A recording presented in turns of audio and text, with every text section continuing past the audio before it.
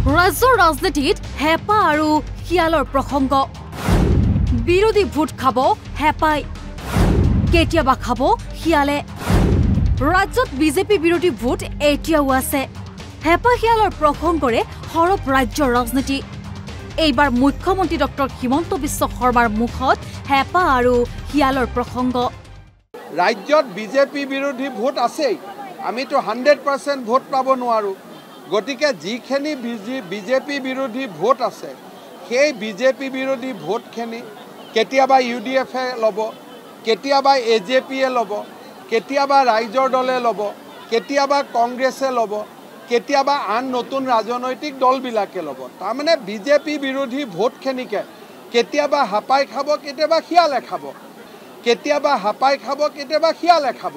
সেইটোলৈ আমি গুৰুত্ব দি লাভ নাই। বিগত সময়ছোৱাত প্ৰতিটো নিৰ্বাচনত মুখ থেকেচা খাইছে বিৰোধীয়ে। ইয়াৰ আঁৰতে আছে মুখ্যমন্ত্ৰী হিমন্ত বিশ্ব শৰ্মাৰ কৰ্মদক্ষতা আৰু বিজেপিৰ সাংগঠনিক তৎপৰতা। আমি গ'ল্ড মেডেল কেনেকৈ পাব লাগে জানো? কিন্তু চিলভাৰ মেডেল কোনে পাব সেই দায়িত্ব ল'ব নোৱাৰো।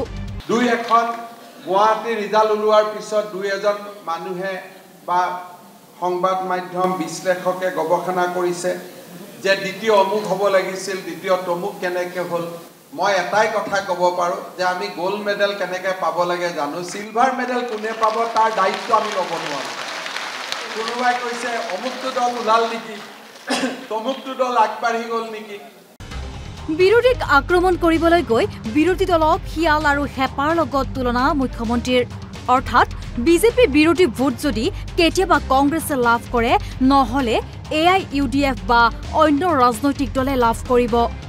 যি কি নহওক বিৰোধীক শিয়াল আৰু হেঁপাৰ লগত তুলনা কৰা মুখ্যমন্ত্ৰীৰ এই প্ৰতিক্ৰিয়াক লৈ বিৰোধীয়ে কি প্ৰত্যুত্তৰ দিব সময়ত লক্ষণীয় হ'ব।